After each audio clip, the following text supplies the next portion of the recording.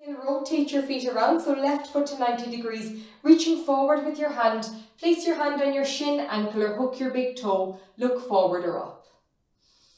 So moving your spine in different directions like this is a really good way to strengthen all of the muscles in your back and your spine.